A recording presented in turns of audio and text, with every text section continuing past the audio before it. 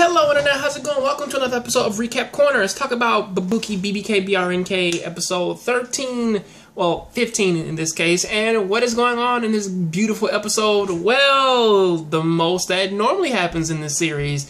Pretty much, our main characters say we are the strongest because we have Obu, of course, and of course, now, um, Kaoruko, she's over there trying to convince Guy that she is a desk, so that she's a good heart hard user.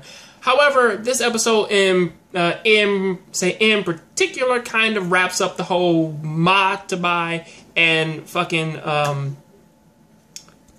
Kogani storyline and what is going on with uh, or pretty much the real story as into how uh, as to how her father died.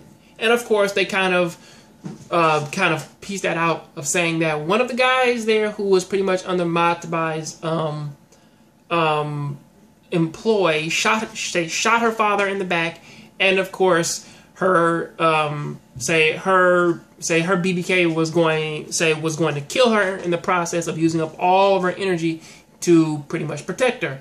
Of course. And of course, once she finds out about this, she says that she's not going to try and kill him anymore, but still she hates him.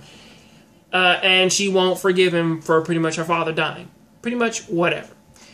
However, he has went on to become to pretty much do a scorpion route of saying, I am going to pretty much protect you and see that and say make sure that you're safe, even though I pretty much have minuscule BBK abilities now, and I do have a child of my own. So that's something which that he's doing, and now the main focus is save, um, save, um, save Reiko, and now um, Kaoruko, she has say she has Inte.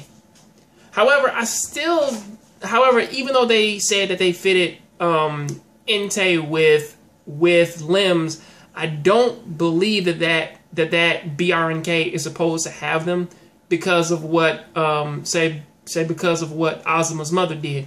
So I do so for how this series kind of presented it was that even if say even if it, even if they give it artificial limbs, it still can't use them. So that is something to take into consideration.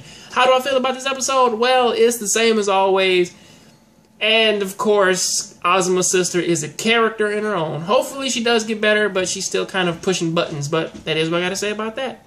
I'll see you on the next Jon Graves show. Thank you for watching Recap Corner. I'm out.